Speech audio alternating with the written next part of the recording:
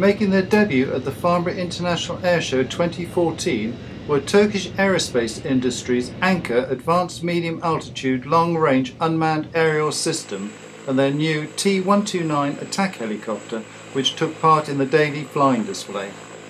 The Anka Unmanned Aerial System has an all-weather day and night ISTAR capability and features autonomous flight capability and automatic takeoff and landing.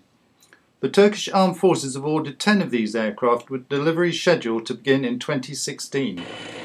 Developed jointly by AgustaWestland and the Turkish aerospace industry, the multi-role T-129 attack helicopter is based on the AgustaWestland AW-129 Mangusta to fulfill a Turkish military requirement for an attack and tactical reconnaissance helicopter.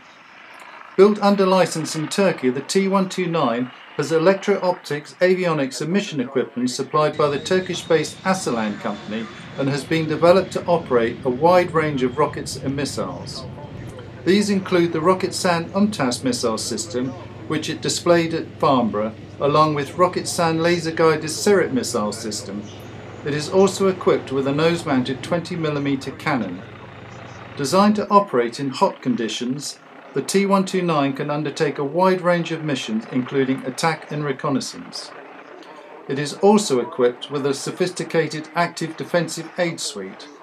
The helicopter has 3 hours endurance and can carry a 1,200 kg payload day or night. The first nine of eventual 50 T-129s were delivered to the Turkish Armed Forces in April 2014.